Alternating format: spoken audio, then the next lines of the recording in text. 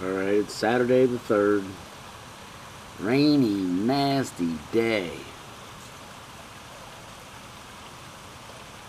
This is the view out of my bathroom window.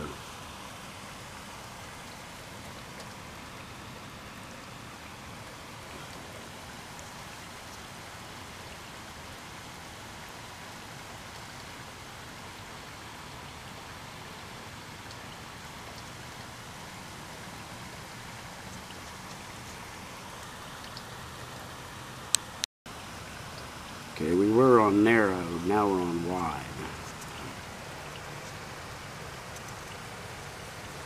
And you see the water down there. When it really rains,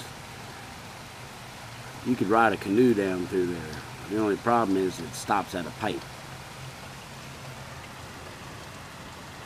Nasty day. Mr. Squirrel. Squirrel!